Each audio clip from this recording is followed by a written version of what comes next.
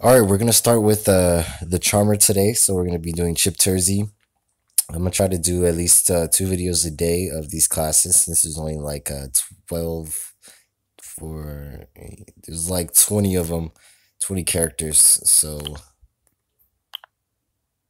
there is lag on this game, of course, but it, it was a, it got a little bit better after the first episode. Uh, price, nope. I don't have gold for shit. So, but I'm out here in this area doing a quest. I took in a few quests here. Uh, the Procurator's quest, um, basically quest progress. Um, so sent you to help me. You must be the lost soul of the House of the Blood. Then, so we gotta go find where this is exactly at, and you can now use the map to find shit. So that's pretty cool. Um, unfortunately, we cannot teleport. Uh, I was supposed to be doing jobs at the tavern, but it's really just a fetch quest type thing. They really just want me to uh, pick shit up, and I don't feel like picking shit up. What the fuck, I guess. Thank you very much. Oh, look at that guy. That guy's way up there. Alright, we're gonna use some magic on this guy. I think we should take a look at our actual skills. Let's uh, kill this thing first. We only use our first ability. Bam! Bam! One more time. Bam! Get out of here. I want your spoils. Oh, you got a lot of shit. I'm gonna sell like everything. Let's go to skills here. So our first skill is called Dark Prism. It's an active ability. It has 5 yards of range, energy expense, 13 units. That's a lot.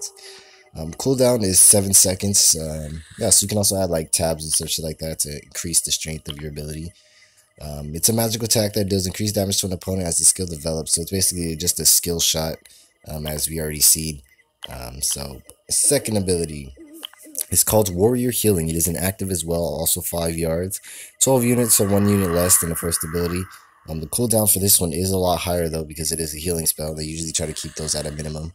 Um, instantly restores a certain amount of health of a character or an ally amplifies their positive effect healing that periodically restores health for 12 seconds. So it increases any heals you get from other party members, and it also it gives you regen um, and heals you. So it's, it's a pretty powerful healing skill if you really think about it. Uh, but the chances of you actually ever having somebody else ever healing you is pretty low. So yeah. Weakness, active, also another active ability, 5 yards, 14 units. This one's a little bit further. Um, 20 seconds with cooldown, reduces physical and magical defense for the enemy for 10 seconds.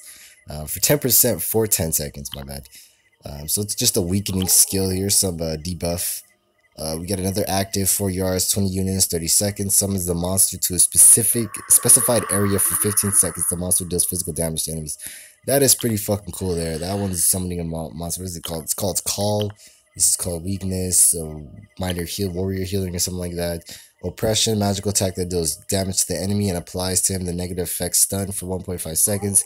The opponent cannot move or or apply skills Damaging the target do not uh, alleviate this target. Okay. So here's my passive. Devotion increases character's energy regeneration by 3%. Another passive. Staffs. Uh, grants for shields. And grants use for heavy armor. Increased magic resistance increased 50% while you have the shield put on.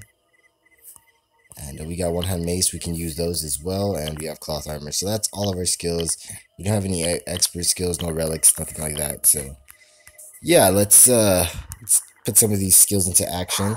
Um, just go with Dark Prism, show this off. So we're seeing Dark Prism. Warrior Healing is just kind of this quick warrior heal. Um, we apply Weakness. Weakness kind of just destroys his defense, so now we do more damage here. Um, bam, we're also getting regen, along with uh, the heal that we had put on earlier, so that's pretty strong of an ability. I, I do like it. Um, let's go ahead and try to fight something that's a little bit stronger. Crawling Bones. Let's go ahead and summon out our little demon here. Let's let him do some damage here. Let's use our ultimate ability here. Some lightning. Apply stun. Um, we are taking some damage here. Let's go ahead and apply weakness. Let me get a better angle of this over here somewhere. Instead of being lashed up in this corner. Um, let's use Dark Prism. Our skills are on cooldown. It's running away from us. Okay, fuck it. We didn't get to kill it. Guess we never will then. But yes, guys, that is the Shaman class. Um, state, he has a lot of health. Physicals, magicals, and they're alright. Um, what else was I trying to look? that's about it, honestly. We did get an item though. I did I did remember that. Let's go.